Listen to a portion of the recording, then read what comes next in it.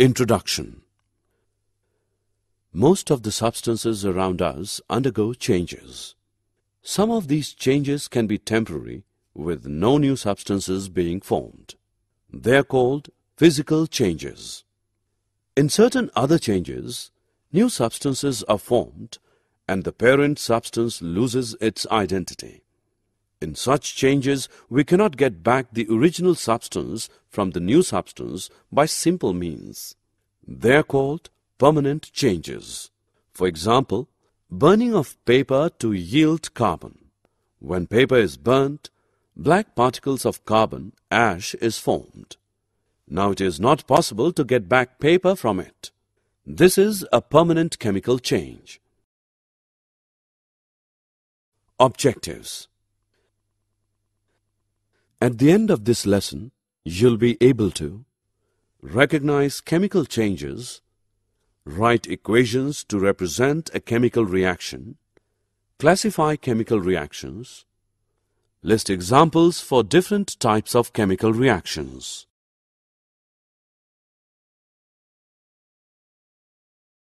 Chemical reactions A chemical reaction is that in which a substance or substances react chemically to form a new substance or substances. The substances that take part in a chemical reaction are called reactants. The new substances which are formed are called the products. Iron plus sulfur gives iron sulfide. Iron and sulfur are the reactants and iron sulfide is the product.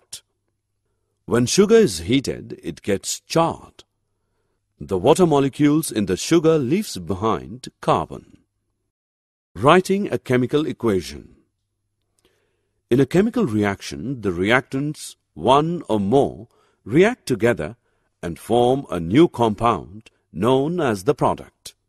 For example, aluminium oxide reacts with dilute sulfuric acid to form aluminium sulfate and water. The reaction can be written as aluminium oxide plus dilute sulfuric acid gives aluminium sulfate and water.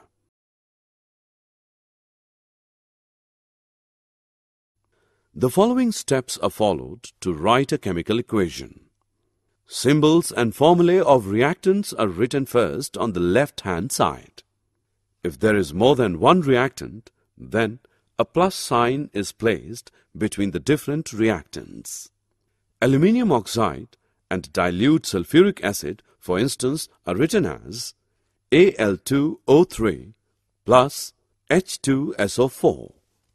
An arrow is marked after the reactants to indicate that they react to form the product.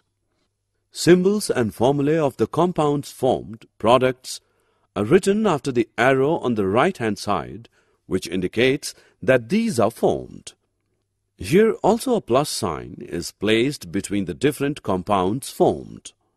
For example, Al2O3 plus 3H2SO4 gives Al2SO4 3 plus 3H2O.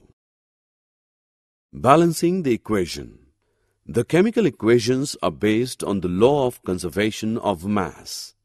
According to this law, mass can neither be created nor be destroyed in a chemical reaction. This will be possible only if the total number of each type of atom is the same on the reactant side as well as on the product side of the equation. Equations in which the number of atoms of different elements in the reactants are the same as the number of atoms on the product side are known as balanced equations. Balancing the equation Al2O3 plus H2SO4 gives Al2SO4 3 plus H2O, equation 1, the above equation is an unbalanced one.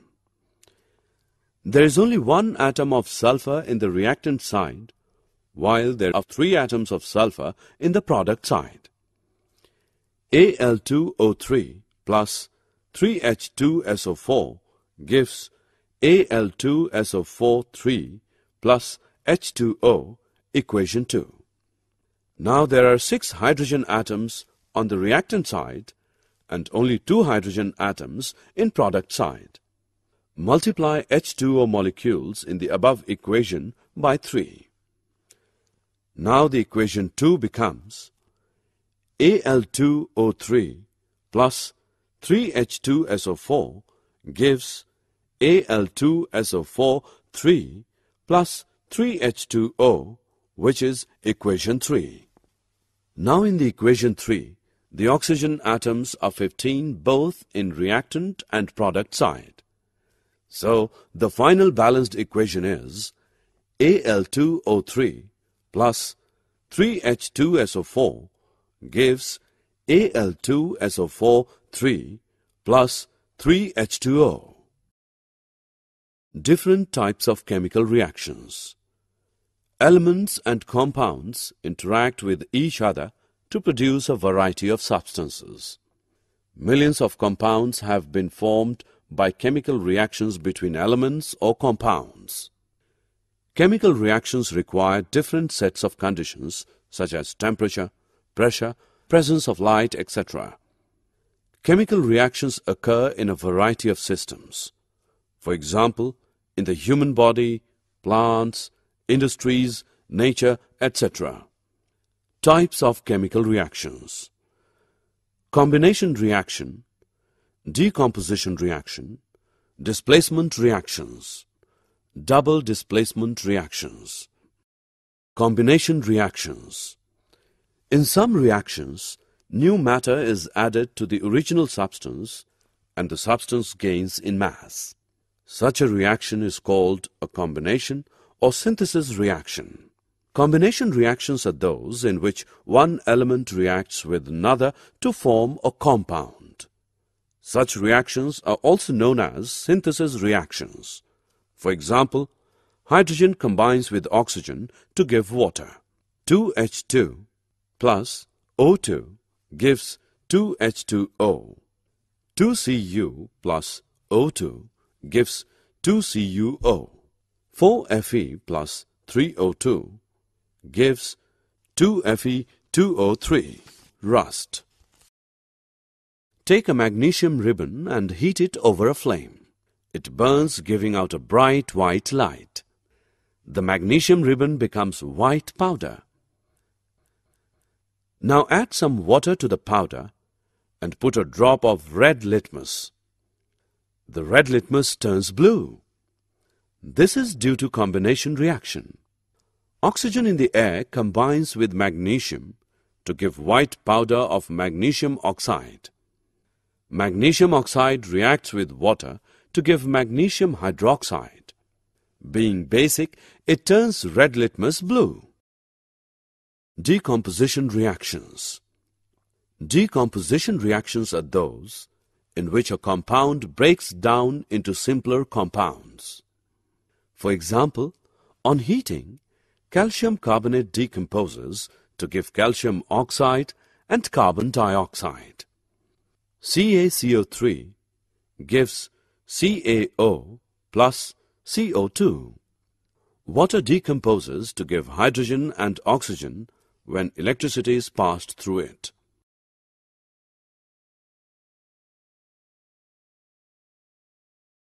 Take a piece of a marble.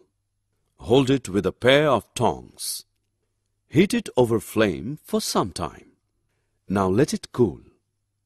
Drop the solid into water.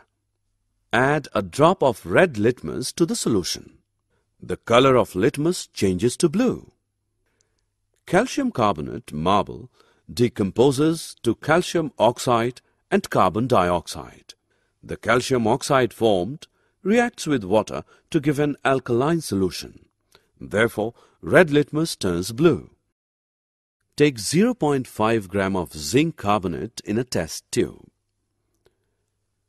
Fit the test tube with a cork and a delivery tube. Heat over the flame. You will see a colorless gas is given out. The gas on passing through lime water turns it milky. Heating zinc carbonate decomposes it to carbon dioxide gas and zinc oxide. The carbon dioxide turns lime water milky. Heat about 1.0 gram of ferrous sulfate in a china dish. On strong heating, the green color of ferrous sulfate changes to brown. A pungent smelling gas also comes out of it. This is due to the decomposition of ferrous sulfate to give brown ferric oxide and pungent gases like SO2 and SO3. Displacement reactions A displacement reaction is a reaction in which an atom or a group of atoms present in a molecule is displaced by another atom. For example, iron when added to a solution of copper sulfate displaces copper metal. Dissolve 0.5 gram of silver nitrate in 10 ml water in a test tube. Place a clean copper wire in the test tube. Keep it for some time. Shining crystals of silver appear on the copper wire. The color of the solution becomes bluish as some copper nitrate is formed. In this reaction, iron metal has displaced copper from the solution of copper sulfate. Take copper sulfate solution in a test tube. Place the iron nail in the copper sulfate solution and keep it for some time. After some time, the blue color of the solution fades and red-colored copper metal is displaced from the copper sulfate solution. The displacement reaction which occur is Fe plus CuSO4 gives FeSO4 plus Cu some other examples of displacement reactions are 2Na plus 2H2O gives 2NaOH plus H2. 2Al plus Fe2O3 gives Al2O3 plus 2Fe. Double displacement reactions Double displacement reactions are those in which two compounds exchange ions to form two new compounds. These reactions are also called partner exchange reactions. These reactions occur in ionic compounds. For example, in the reaction of copper sulfate and hydrogen sulfide, copper sulfide and sulfuric acid are formed. Thus, the partner of copper is exchanged for the partner of hydrogen in hydrogen sulfide. The reaction of barium chloride and sulfuric acid to form barium sulfate is also a double decomposition reaction. The neutralization reactions are also double decomposition reactions. Redox reaction Redox reactions are those in which oxidation and reduction takes place at the same time. In these reactions, one substance is reduced while the other is oxidized. Activity Take a china dish and add a small amount of copper powder and heat it. What happens to copper powder? The surface of copper powder has changed to black color. This is because oxygen has combined with copper and copper oxide is formed. If hydrogen gas is passed over this heated material, CuO, the black coating on the surface turns brown as the reverse takes place and again copper is obtained. Cupric oxide changes into copper. Oxygen is thus removed from cupric oxide. Since removal of oxygen is reduction, cupric oxide is reduced to copper. Hydrogen removes this oxygen from cupric oxide. Hence, hydrogen is the reducing agent. Thus, oxidation and reduction occur simultaneously. For example, sodium gets oxidized when it changes to Na+. Oxidation is defined as the gain of oxygen or loss of hydrogen or loss of electrons by a substance. Reduction is defined as the gain of hydrogen or loss of oxygen or gain of electrons by a substance. Zinc gets oxidized to Zn2 when a zinc rod is dipped in a copper sulfate solution. In this reaction, zinc has lost two electrons to become Zn2 Thus, zinc gets oxidized. On the other hand, Cu2 plus gets reduced as it accepts two electrons released by Zn to become Cu. Corrosion You might have noticed that old iron gates turn reddish-brown in color. The turning of iron materials into reddish-brown color is rusting of iron. Some other materials also tarnish the same way. The black coating on silver and the green coating on copper are other examples of corrosion. Corrosion is the process by which metals are eaten up gradually by the action of air, moisture or a chemical on their surface. Rancidity If a metal is reactive, its surface may be attacked slowly by the action of oxygen and water in the atmosphere. The metal reacts with the oxygen of air and water vapor of air, forming compounds on its surface. The formation of these compounds tarnishes the metal, that is, it makes the surface of the metal appear dull. The compounds formed on the surface of metal are usually porous and gradually fall off from the surface of metal and then the metal underneath is attacked by air and water. The process goes on and on. In this way, the action of air and water gradually eats up the whole metal. When we keep food materials containing fat or oil for a long time, we get an unpleasant smell and the taste also changes. This is because the food materials get rancid. Rancidification is the decomposition of fats and oils by hydrolysis or by oxidation. Antioxidants are often added to fat-containing foods in order to retard the development of rancidity due to oxidation. Natural antioxidants include polyphenols, ascorbic acid, tocopherols. Synthetic antioxidants are butylated hydroxyanisole and butylated hydroxytoluene. Rancidification can be prevented to some extent by keeping food in refrigerators, by storing food away from sunlight and in airtight containers. By filling the nitrogen in packaging food materials, the nitrogen gas prevents the food material from being oxidized and thus prevent rancid. Did you know?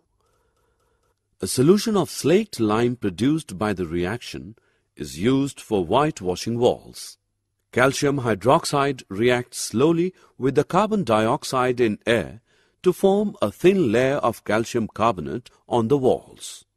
Calcium carbonate is formed after two to three days of whitewashing and gives a shiny finish to the walls. It is interesting to note that the chemical formula for marble is also CaCO3. Summary Let us summarize what we have learned. Chemical reactions are permanent changes. Each chemical reaction can be represented by a balanced chemical equation. The different types of chemical reactions discussed are combination reactions, decomposition reactions, displacement reactions, double displacement reactions, redox reactions.